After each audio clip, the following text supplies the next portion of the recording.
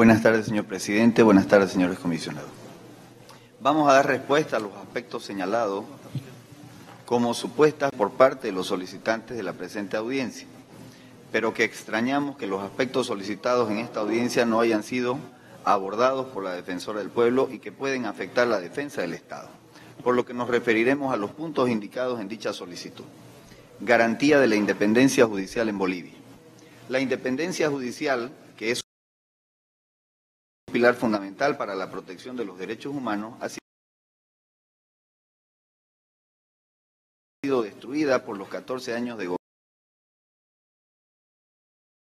Grabado, escasa cobertura, altos índices de rezago judicial, impunidad, poca confianza de la ciudadanía en las instituciones judiciales, falta de acceso a la justicia, escasa independencia judicial y una clara incapacidad para garantizar el debido proceso. 2015. Así también lo demuestran diferentes casos en los que hubo intervención del Ejecutivo para forzar detenciones preventivas, arbitrarias y persecución judicial contra líderes cívicos, prefectos, gobernadores, alcaldes municipales, contrarios a la línea política del anterior gobierno. En contraposición a esa política, resulta importante señalar que el actual presidente presidenta del Tribunal de Justicia, ha emprendido la labor de recuperar la credibilidad de una justicia independiente. Y para tal efecto, la Presidenta de Bolivia anunció en la inauguración del año judicial 2020 el incremento de los recursos, ya que a la fecha el presupuesto asignado para la justicia resultaba irrisorio para el eficiente desempeño de sus funciones. Ante este panorama resulta evidente la absoluta falta de objetividad y la actuación eminentemente política por parte de la Defensoría del Pueblo interina Nadia Cruz, quien a diferencia de los ex defensores del pueblo y reconocidos activistas de derechos humanos como son Waldo Albarracín y el doctor Rolando Villena, ambos integrantes del Consejo Nacional Democrático CONAD. Uno, caso Franklin Gutiérrez de la Asociación Departamental de eh, escasa cobertura, altos índices de rezago judicial, impunidad, poca confianza de la ciudadanía en las instituciones judiciales, falta de acceso a la justicia, escasa independencia judicial y una clara incapacidad para garantizar el debido proceso. 2015. Así también lo demuestran diferentes casos en los que hubo intervención del Ejecutivo para forzar detenciones preventivas, arbitrarias y persecución judicial contra líderes cívicos, prefectos, gobernadores, alcaldes municipales, contrarios a la línea política del anterior gobierno. En contraposición a esa política, resulta importante señalar que el actual presidente, presidenta del Tribunal de Justicia, ha emprendido la labor de recuperar la credibilidad de una justicia independiente y para tal efecto, la Presidenta de Bolivia anunció en la inauguración del año judicial 2020 el incremento de los recursos, ya que a la fecha el presupuesto asignado para la justicia resultaba irrisorio para el eficiente desempeño de sus funciones. Ante este panorama resulta evidente la absoluta falta de objetividad y la actuación eminentemente política por parte de la Defensoría del Pueblo interina Nadia Cruz, quien a diferencia de los ex defensores del pueblo y reconocidos activistas de derechos humanos como son Waldo Albarracín y el doctor Rolando Villena, ambos integrantes del Consejo Nacional Democrático CONAD. Uno, caso Franklin Gutiérrez de la Asociación Departamental de, eh, hoja de Productores de Hoja de Coca. La aseveración se sale del peligro de, sale del peligro de fuga y, y obstaculización del proceso, situación que luego de ser desvirtuada por el mismo Franklin Gutiérrez derivó en su libertad. Esta decisión judicial no fue apoyada por ninguna de los involucrados, ni por el Ministerio Público, ni por las instituciones querellantes, ni por las víctimas, de manera que mal se puede acusar al actual gobierno de restauración democrática de haber influenciado en la decisión judicial. Caso Leopoldo Fernández. Con relación a Leopoldo Fernández, también se debe señalar que en el marco de la independencia judicial, la decisión de la autoridad judicial, ahora cuestionada por la Defensoría del Pueblo, estuvo enmarcada en las precisiones de la normativa adjetiva penal vigente. Así resulta relevante hacer conocer que la modificante resolución, el 9 de diciembre, tuvo los siguientes fundamentos la consideración de la condición de adulto mayor, amparado en lo dispuesto en el artículo 180 de la Constitución Política del Estado, el hecho que el proceso penal se encuentra en etapa de casación pendiente de resolución y que no impide que se puedan modificar las medidas cautelares de carácter personal. Ni la, ni la Fiscalía ni las víctimas se opusieron a la solicitud de la modificación de las medidas cautelares, lo que hizo entender que el tribunal no existía oposición fundamentada con presupuestos legales para mantener dicha medida restrictiva. Ninguna de las partes apeló la decisión que determinó dejar sin efecto la resolución de la detención de Leopoldo Fernández. La misma se realizó en estricto cumplimiento del debido proceso. Se extraña que la Defensoría del Pueblo, como institución que promueve la protección de los derechos humanos, cuestione la libertad de una persona en condiciones de vulnerabilidad en razón de su edad avanzada y de su dedicada situación de salud y que aún no cuenta con sentencia ejecutoriada en su contra. El gobierno constitucional garantiza la libertad de expresión. El Estado considera fundamental enfatizar que en Bolivia se respeta la libertad de expresión. No obstante, como la misma Convención Americana de los Derechos Humanos establece en el artículo 13.5, en concordancia con lo dispuesto en el artículo 20.1 del Pacto Internacional de los Derechos Civiles y Políticos, existen limitaciones a este derecho puesto que toda propaganda en favor de guerra, apología del odio nacional que constituya incitaciones a la hostilidad, violencia o cualquier acción legal ilegal similar contra cualquier persona o grupo de personas es prohibida o está prohibida. La misma CIDH ha señalado en su informe sobre compatibilidad entre las leyes del desacato y la Convención que la presión solo puede aplicarse en circunstancias excepcionales en las que exista una amenaza evidente y directa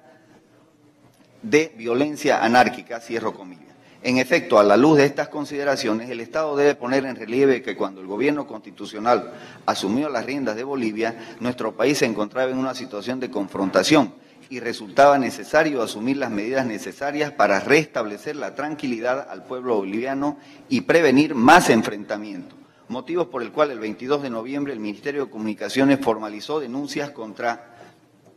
Aibén Huaranca Murillo en el entendido de haber publicado diferentes imágenes y videos de contenido sedicioso que instigaban a la población a delinquir y generaban disturbios. Por otro lado, considerando que los solicitantes realizan especial énfasis en el inicio de investigaciones por parte de presuntas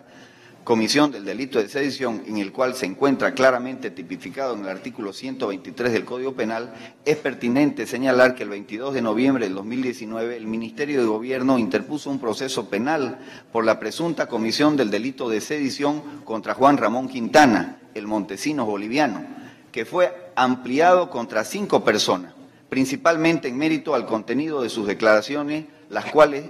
se relacionan con incitación a la violencia, odio y hostilidad. Como punto dos tenemos el decreto supremo 4078 cuestionado y que ha sido abrogado. Ahora bien, no sin antes señalar que llama la atención del Estado el hecho de que los solicitantes de autoaudiencia solo cuestionen el accionar del actual gobierno constitucional y no así los actos realizados por el anterior gobierno que atentaron contra la población boliviana es oportuno advertir que el decreto 4078 ya fue abrogado el 28 de noviembre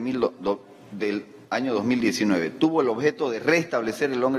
orden interno y la estabilidad pública tan aclamada por la población boliviana. Prueba de ello, a la fecha se encuentran en curso las investigaciones ocurridas por los hechos en Sencata, Guayani y Sacaba.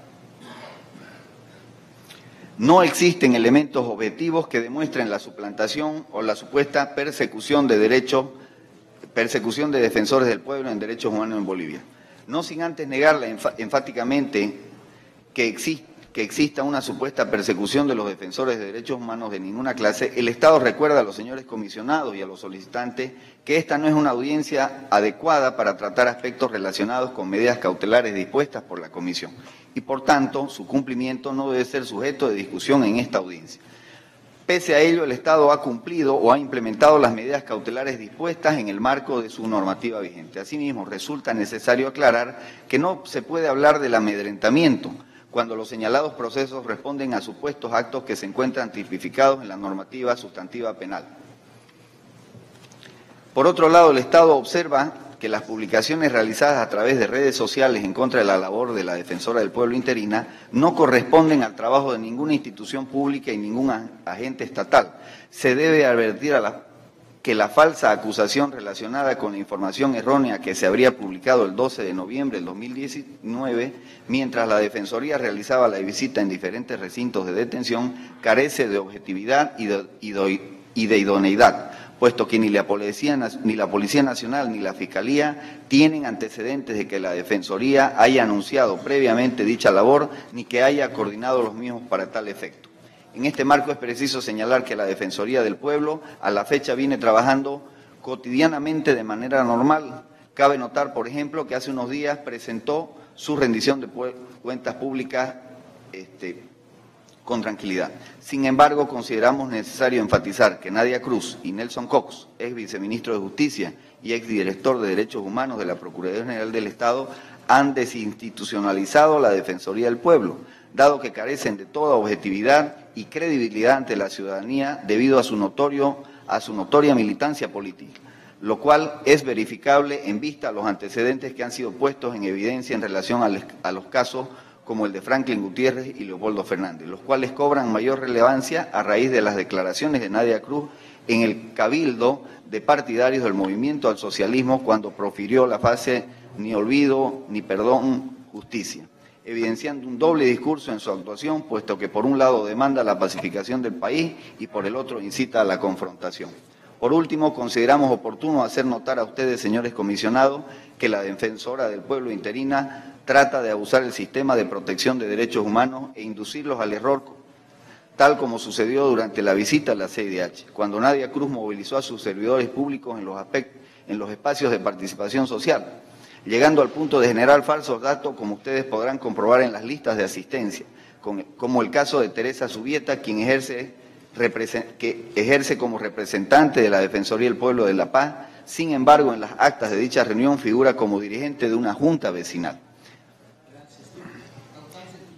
Hemos sido testigos, señor presidente, de la denuncia del pueblo cara a cara por la actuación de la Defensoría. Muchas gracias, muchas gracias por su presentación. Eh, le damos que Nadia Cruz y Nelson Cox, ex viceministro de Justicia y ex director de Derechos Humanos de la Procuraduría General del Estado, han desinstitucionalizado la Defensoría del Pueblo, dado que carecen de toda objetividad y credibilidad ante la ciudadanía debido a su, notorio, a su notoria militancia política, lo cual es verificable en vista a los antecedentes que han sido puestos en evidencia en relación a los casos como el de Franklin Gutiérrez y Leopoldo Fernández, los cuales cobran mayor relevancia a raíz de las declaraciones de Nadia Cruz en el cabildo de partidarios del movimiento al socialismo cuando profirió la fase ni olvido, ni perdón, justicia, evidenciando un doble discurso en su actuación, puesto que por un lado demanda la pacificación del país y por el otro incita a la confrontación. Por último, consideramos oportuno hacer notar a ustedes, señores comisionados, que la defensora del pueblo interina trata de abusar el sistema de protección de derechos humanos e inducirlos al error, tal como sucedió durante la visita a la CIDH, cuando Nadia Cruz movilizó a sus servidores públicos en los, en los espacios de participación social llegando al punto de generar falsos datos, como ustedes podrán comprobar en las listas de asistencia, como el caso de Teresa Subieta, quien ejerce, que ejerce como representante de la Defensoría del Pueblo de La Paz, sin embargo, en las actas de dicha reunión figura como dirigente de una junta vecinal. Hemos sido testigos, señor presidente, de la denuncia del pueblo cara a cara por la actuación de la Defensoría. Muchas gracias, muchas gracias por su presentación.